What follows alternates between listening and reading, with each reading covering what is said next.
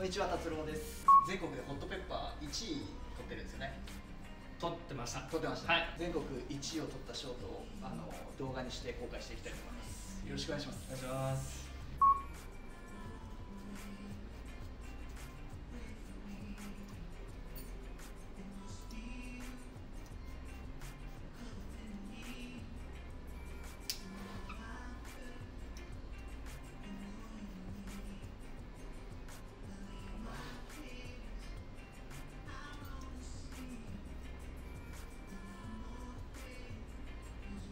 戦目のポイントとかあります？そこ。ここはえっ、と長さ一応顎ラインぐらいで設定してるんですけどでも最終的にちょっとなじましたりして短くなるので気持ち長めぐらいに気持ち長め。切るぐらいです。ブロッキングは耳たぶぐらいの感じですか？耳下ぐらいね。耳下ぐらいでいいかなと思います、まあ、レザーなのであんまり厚めにスライスを取らないのがポイントですね。そうですセニグ入れてからそうですで次のやつは同じ位置で。ダウンステムでそうです。重ねる感じです。そうですね。でその時にポイントなのがちょっとテンションかけてテンションかけかかった時にワンレンになるみたいなイメージです乾いてそこちょっと上がるイメージそうです。乾いた時に上がるので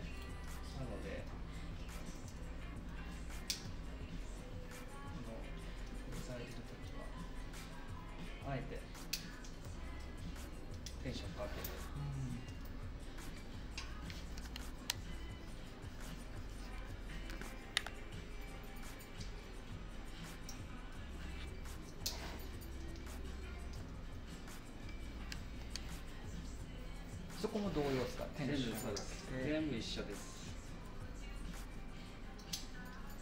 じゃああえて意識的にグラつけたりとかっていうことはせずにテンションで丸みつけていくって感じですそうですね。なんか慣れてくるとどのくらいでどのくらいのあのグラが入るかっていうのが分かるので今回は重みのある丸みのやつな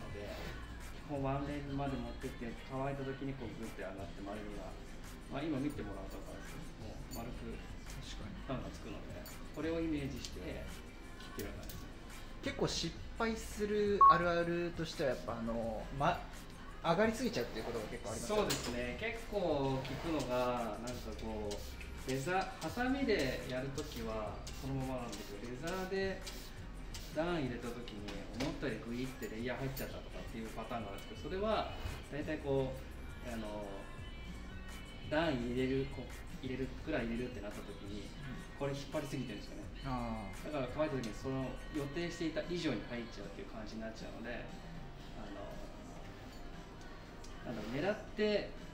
グラデーションを入れるっていう場合はむしろもう本当テンションかけない本当こういうなんかたるませるぐらいの感じで入れてあげると綺麗に決まりやすいんですけど。でもなんかそうですね。なんかこうふわっとする感じここからがふわっとしている状態をはもうあんまり逆にテンションかけずに切っていく感じですここかけすぎちゃうと結構上に上がっちゃうので。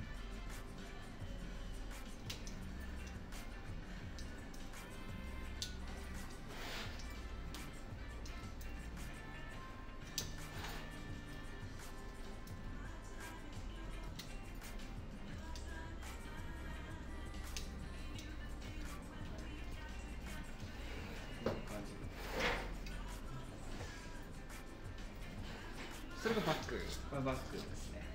後でまたレイヤーを入れるんですけどそれでバック終わりです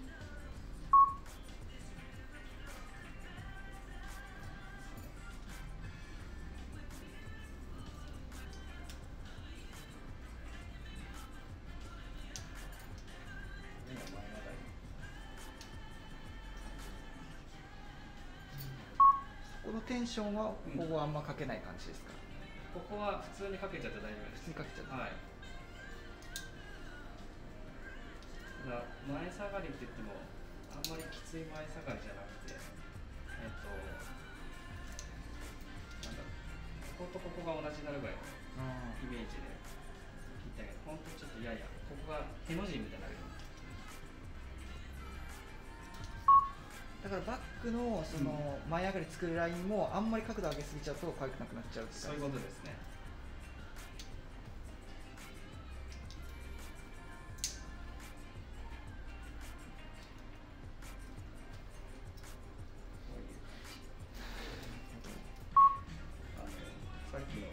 バッグの作りと一緒なんですけど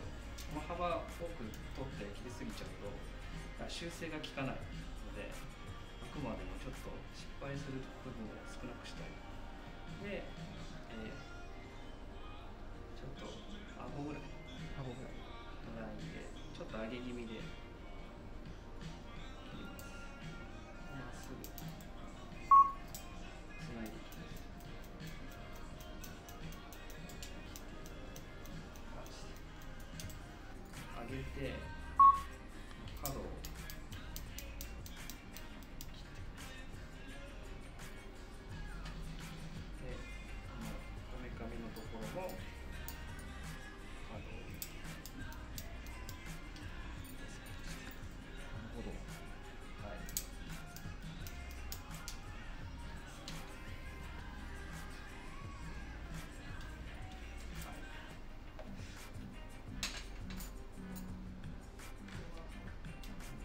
最後に